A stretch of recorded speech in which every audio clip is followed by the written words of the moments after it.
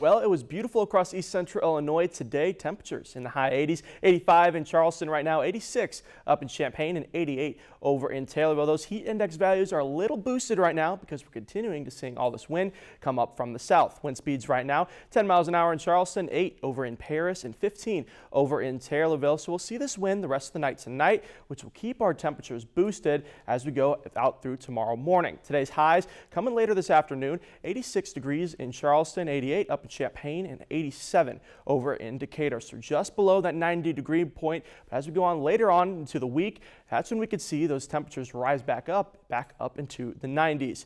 Futurecast the rest of the night tonight, we see some partly cloudy skies across east central Illinois, but then they'll start to dissipate. We're going to see clear skies over the early morning hours for your Tuesday. It's going to be a starry night tonight as we head out throughout the rest of the night. Overnight tonight, temperatures drop down to 70 degrees, partly cloudy skies, but again, it's going to be pretty warm because we have that wind coming up from the south at gusts upwards of 17 miles per hour.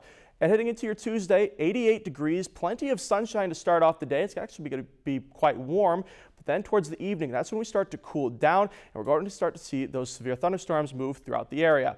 Future wind gusts for tonight, 17 miles an hour in Charleston, 23 over in Decatur, and 17 in Effingham. So again, with these winds coming up from the south, that's what's going to produce those warmer temperatures and produce storms heading into tomorrow. So the severe weather threat for tomorrow, we have a slight risk up in Piatt, Champaign, and Vermilion County, and then the rest of the WEIU viewing area is a part of that marginal risk heading into tomorrow. Taking a look now at what we're expecting 4 p.m. on your Tuesday, that's when those storms start to roll their way in. It's going to start off very scattered, but then again, they start to develop and start to come together. It could develop around the center portion of the WEIU viewing area and then push its way down further south, and that's going to affect Newton, Robinson, Terre Haute, and the Casey area later tomorrow afternoon. Again, we let this roll through. Futurecast is showing that it could start to break up a bit, but I have a feeling that these storms are going to continue to develop as they move further south because it's been so warm over the past couple of days. As we head into the late night hours of your Tuesday, that storm pushes its way out of the viewing area,